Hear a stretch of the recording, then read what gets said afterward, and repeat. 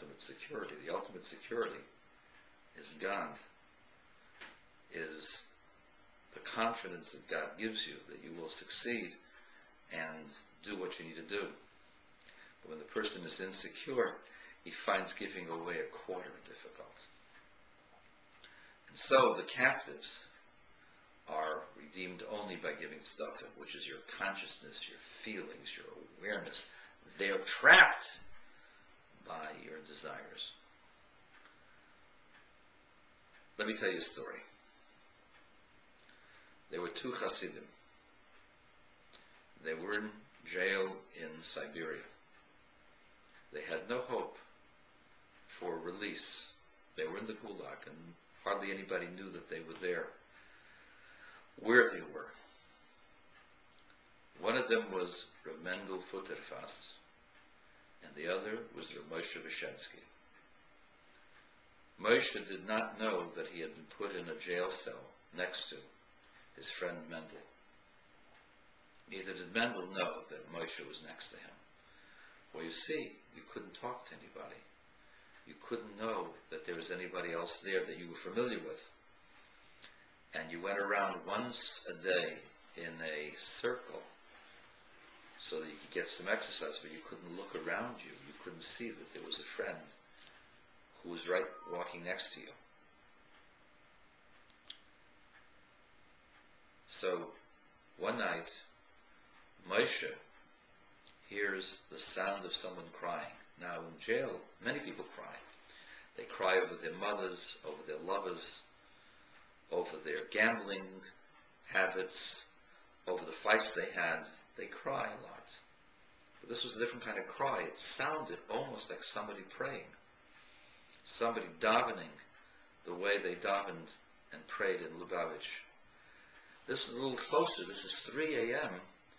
And yes, it was somebody crying the words of prayers. Who could this someone be?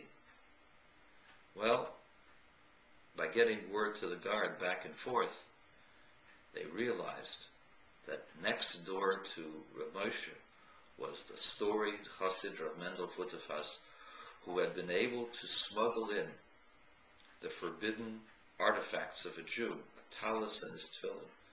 He was able to smuggle it in into his jail cell.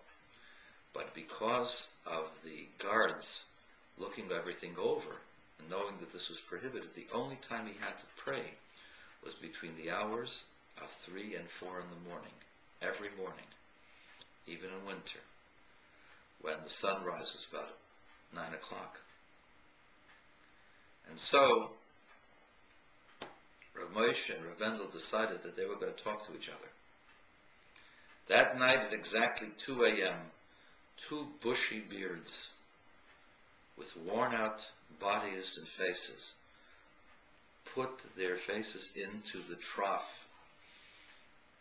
the canal, the sewer line, the filthy sewer line that connected all of the cells together into one dirty exit but because it was one trough, echoes went through very easily. And at 2 a.m., nobody else was listening.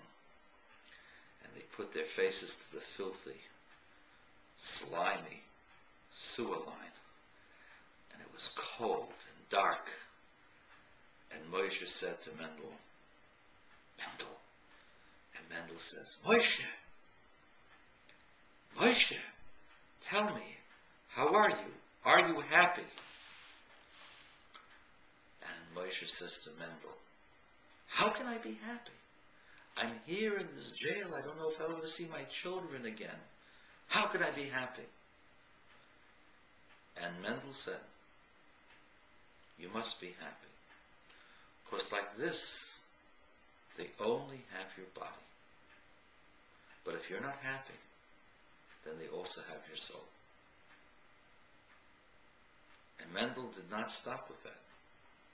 Mendel gave part of his bread to the jailer so that the jailer would permit Moshe to stay with him for a month. And during that month, they worked long hours except for Shabbos. And after the month, Moshe and Mendel parted ways to see each other many, many years later in Israel and by the Rebbe.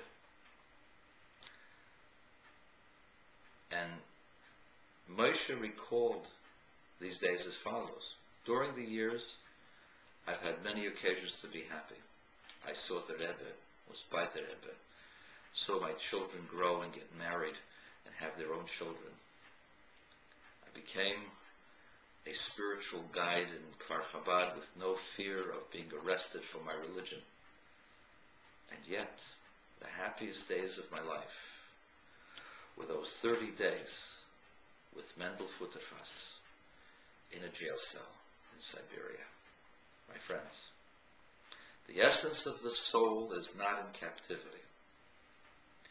It is redeemed through the study of Torah, but only if we are happy.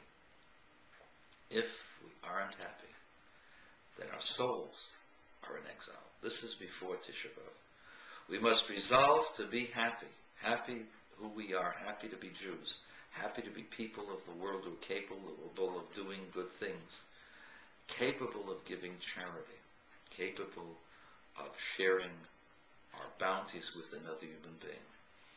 And we are capable of giving this message to the whole world if we all are happy because God created us and that we can share with another human being, even if it means giving up our own bread then we will be released from our bondage. First, the bondage of the evil inclination in our hearts that we can do what we need to do to do the right thing. But then the bondage of the misery of the human condition where people hate each other and people try to destroy each other. Because this will herald in a new era, an era of love and compassion, of peace and tranquility of wisdom and understanding of the presence of God with the third Beis Hamikdash.